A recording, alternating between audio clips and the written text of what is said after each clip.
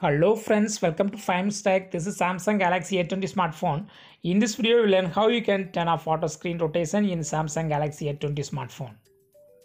First of all, open any app in your phone. Here I open Google Chrome.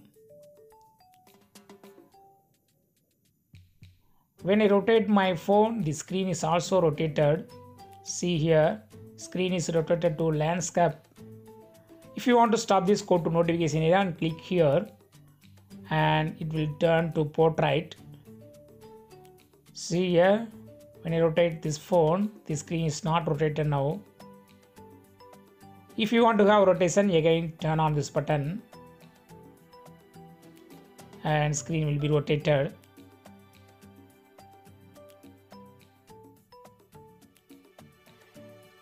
in landscape position if you turn off that option it will be fixed in landscape.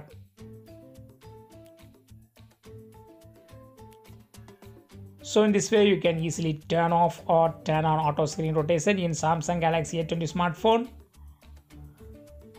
That's all friends. Thanks for watching. Subscribe for more videos. Until then take care. Bye